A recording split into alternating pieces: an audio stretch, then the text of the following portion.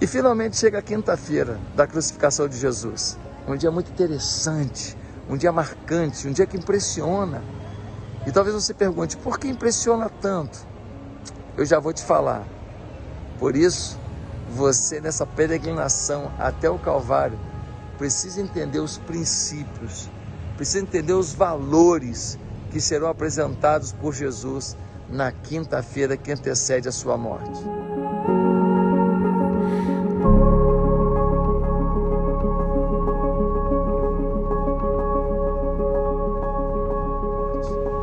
Por hora, se você quer saber mais sobre isso, se inscreve no meu canal, toca no sininho, vai lá, faz um comentário aí nesse vídeo e por favor, me dá um like se você gostar do vídeo.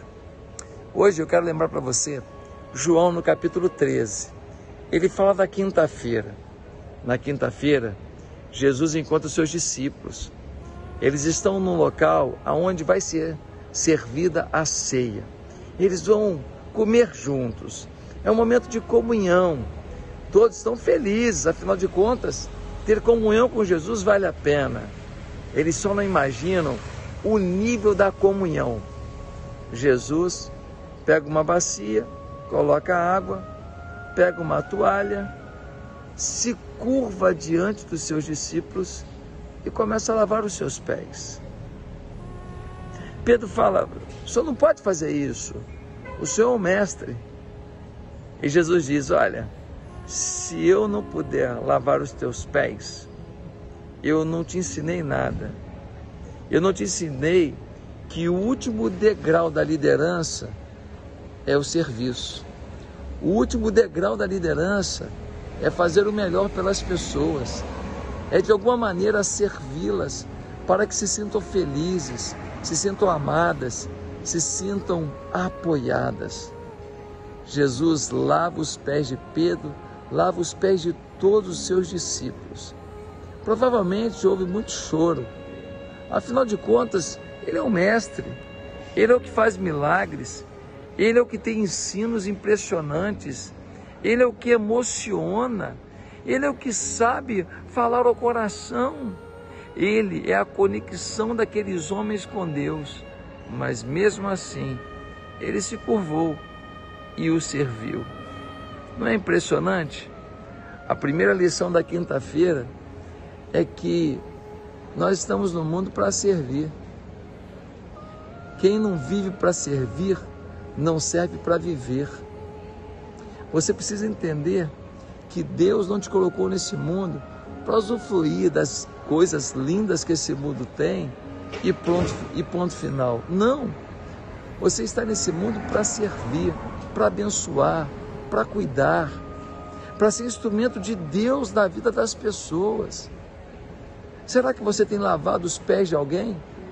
Lavar os pés, muitas vezes, é a gente aceitar um insulto, aceitar uma indelicadeza, aceitar uma maldade, aceitar uma grosseria aceitar uma atitude que não é tão bonita.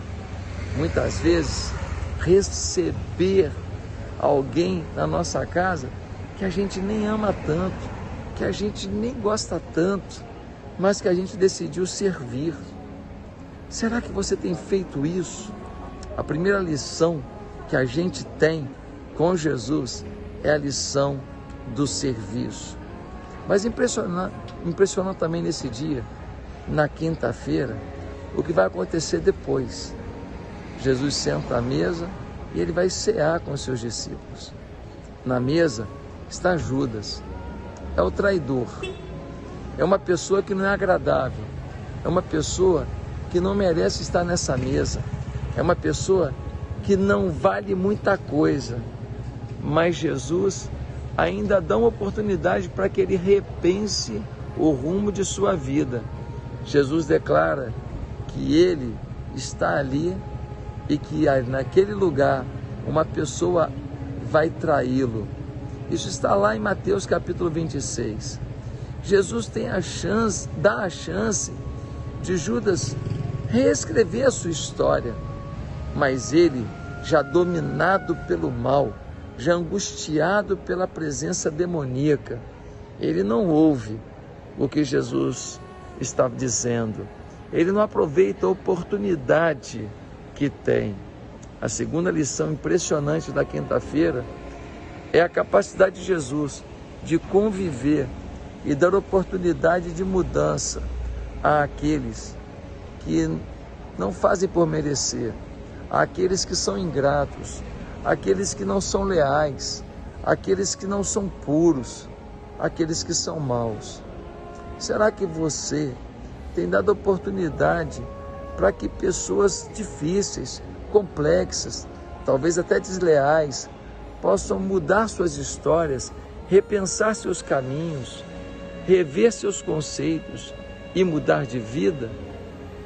É muito importante que cada um de nós repense isso, avalie isso, porque a maioria de nós só quer caminhar com os bons, com os legais, com os cheirosos, com os agradáveis. É muito triste quando a gente não compreende que oportunizar aos outros a mudança é oportunizar para a gente ser uma pessoa melhor. Finalmente chegamos ao versículo 36 do capítulo 26 de Mateus. É um momento complexo. Jesus já lavou os pés dos discípulos, Jesus já ceiou com seus discípulos, e então ele decide ir para um jardim chamado Getsemane, onde ele vai orar. Mas ele não vai sozinho. Ele pede que Pedro, Tiago, João o acompanhem. Diz o texto que ele começa a se angustiar. Ele começa a ficar muito triste. Ele sabe que a dor que virá é muito grande. Ele sabe que o sofrimento será intenso. E ele pede que seus amigos estejam com ele. Uma lição muito grande aqui é que na hora da angústia, duas coisas são importantes. Primeiro, precisamos de oração. Queremos resolver os nossos problemas com amizades, com conexões, com indicações, com apoios, com dinheiro, com empréstimos, com cursos, com faculdades. Mas as angústias do coração só são resolvidas quando a gente realmente vai para Deus, quando a gente realmente clama para Deus, quando a gente busca a Deus quando Deus intervém na nossa vida. Há angústias mais simples que a gente pode até conseguir superar por um alto aprendizado, mas há coisas que só uma intervenção de Deus. E Jesus vai para Deus falando: Pai, por favor, me abençoa, me livra disso. Uma grande lição no momento da angústia de Jesus é que ele foi para o Pai em oração. Mas uma outra lição forte desse momento, a partir do versículo 36 de Mateus 26, é que Jesus não queria passar pela angústia sozinho. Nós precisamos de pessoas. Nós temos Deus. Deus nos basta. Deus é tudo. Mas a gente precisa de pessoas. E pessoas nos ajudam a compreender Deus e o que Deus quer fazer nas nossas vidas a conclusão que eu faço para você é: será que você tem procurado amigos? Será que você tem aberto o seu coração diante das suas angústias? Segundo lugar, será que você tem procurado Deus? Será que sua vida é uma vida de oração? Ou será que você mal ora? Quase não ora, quase não busca Deus, não consegue uma conexão com Ele diante da sua dor. Que Deus te abençoe e que a quinta-feira na vida de Jesus, na sua ida ao Calvário, traga lições fortes para a sua história. Deus te abençoe. Até amanhã. Amém.